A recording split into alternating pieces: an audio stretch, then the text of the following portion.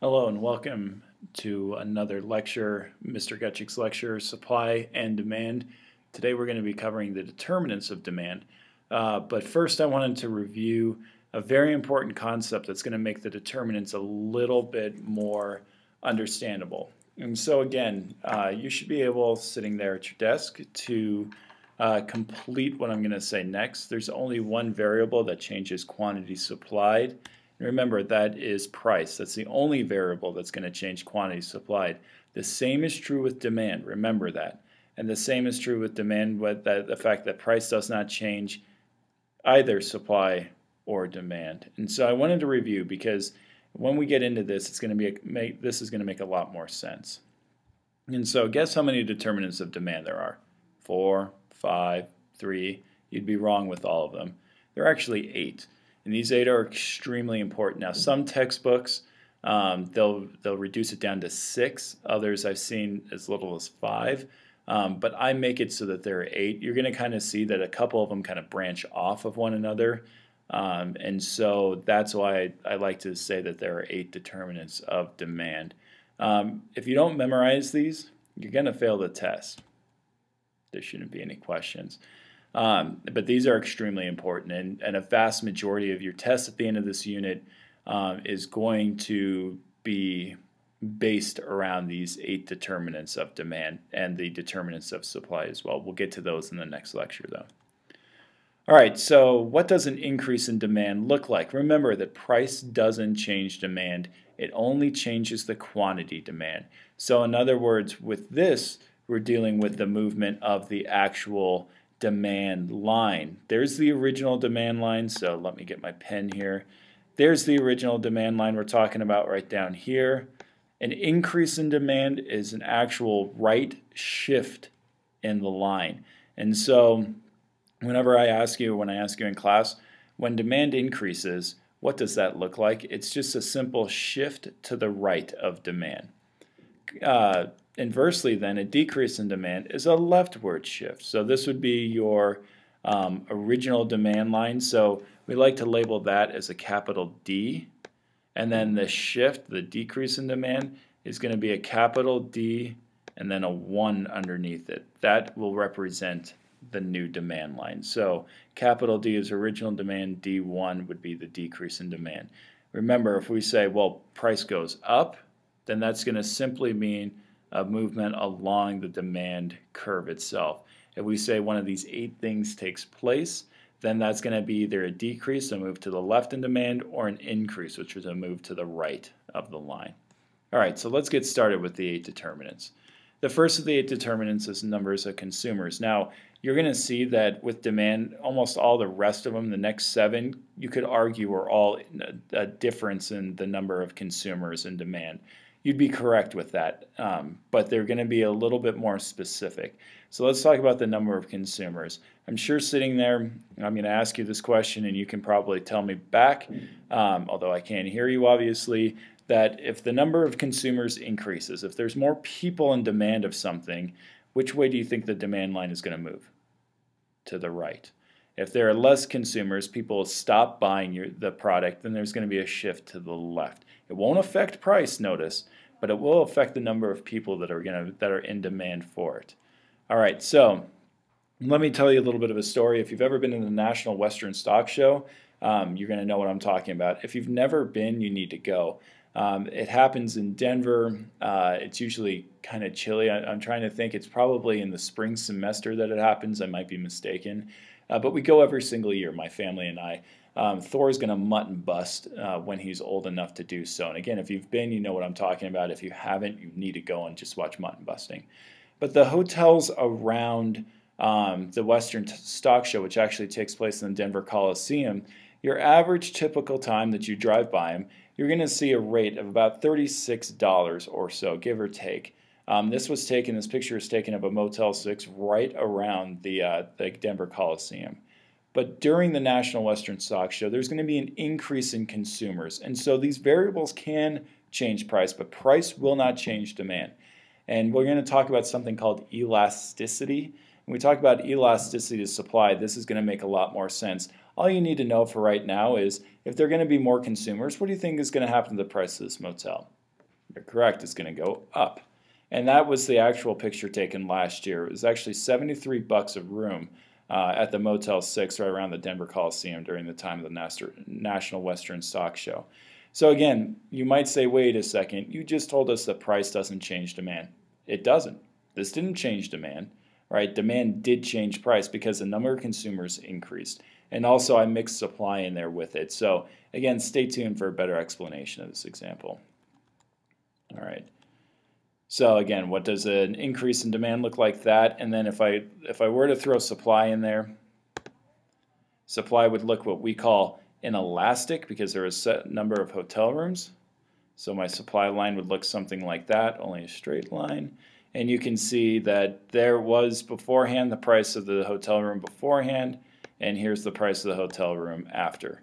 So because it's where supply and demand cross, you can see that an increase in price happened because demand shifted. All right, the next one is income normal good. So it has to do with the consumer income. Now, normal good, I'm going to click through the, the, the PowerPoint and give you both the definition of a normal and inferior good. A normal good is that as your income goes up, demand for normal goods increase. You may see this referred to as a luxury good as well. Income inferior goods are going to have the opposite effect. As your income goes down, your demand for those inferior products goes up. And as your income goes up, demand for those inferior products go down. So let me give you two examples of a normal and an inferior good. One example of a normal good would be these refried beans. Any kind of like store bought or store sorry, uh, given or generic brand would be considered an inferior good. There are other products that are real similar to those, um, but they're not store brand. My favorite food is cereal. Nobody asked me about cereal, or you, you were supposed to ask me about cereal. Uh, we'll see that that is going to be tomorrow uh, for the first class.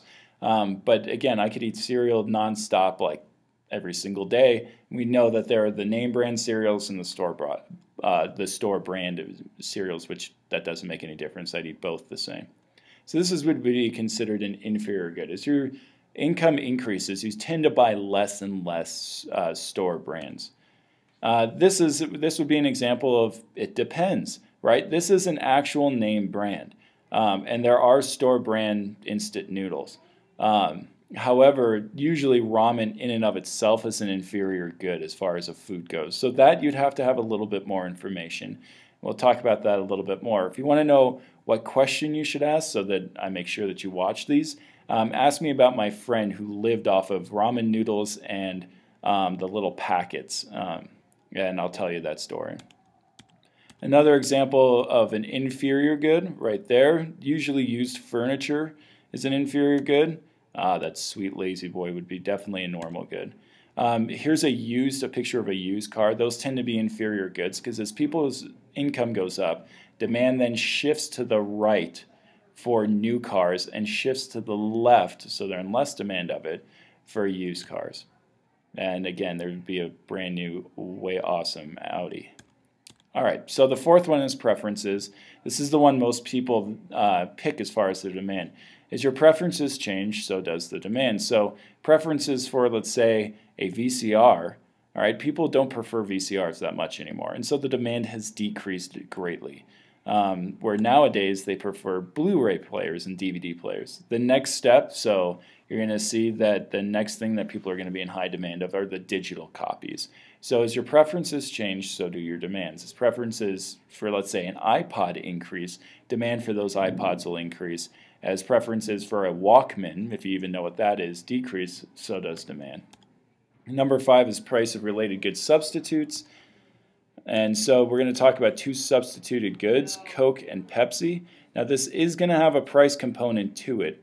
Um, however, again, you're going to have to listen carefully. So my uh, my good is is Coke, and so let's say that uh, King Supers decides to sell Cokes.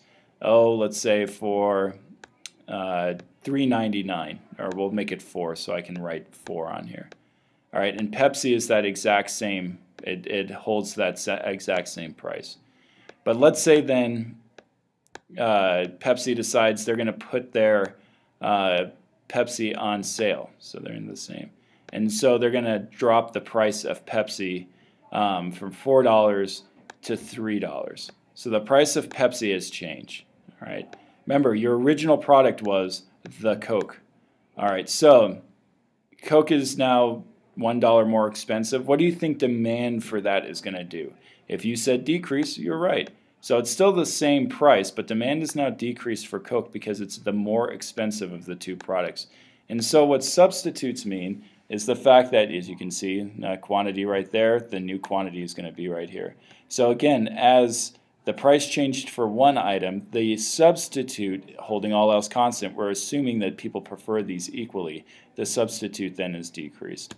Um, let me move on to price-related good complements. These are goods that tend to uh, when you buy one, you buy the other one. Um, I'll use the classic example of peanut butter and jelly. And so let's say the price of peanut butter is 4 seems to be easy for me to write. And so the price is $4. All right, there's the, the demand line for it. All right, so you're going to buy, you tend to buy then jelly as well.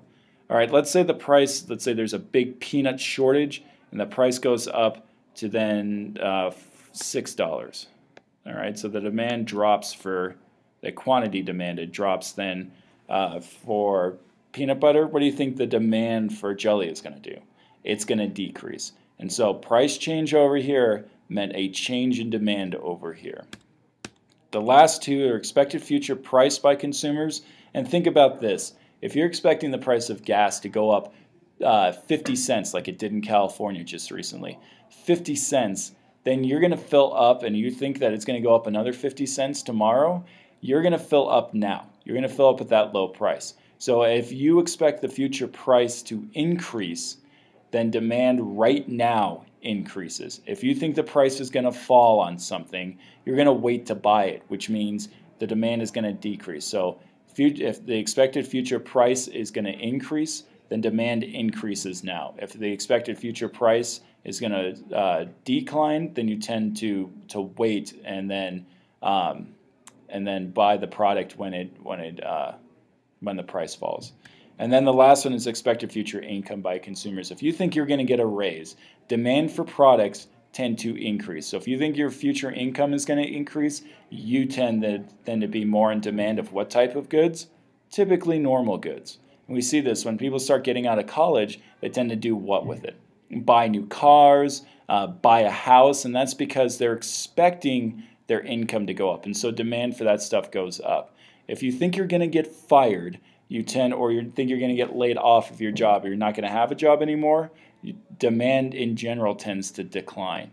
Um, and so that would mean a shift to the left. All right, so that was the eight determinants of demand. We're going to talk about this more in class uh, tomorrow or the next day. I will see you guys then.